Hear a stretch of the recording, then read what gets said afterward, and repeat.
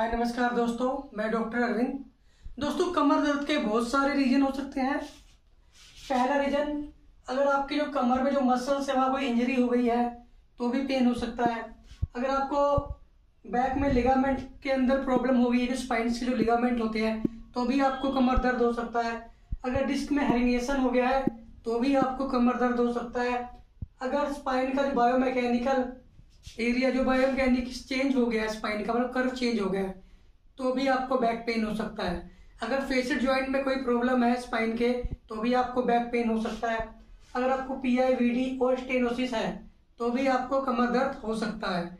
अगर आप इसका ट्रीटमेंट लेना चाहते हैं तो सबसे पहला जो इसका ट्रीटमेंट है, वो न्यूरोथेरेपी है। दूसरा ट्रीटमेंट इसका इलेक्ट्रोहोम्योपैथी है।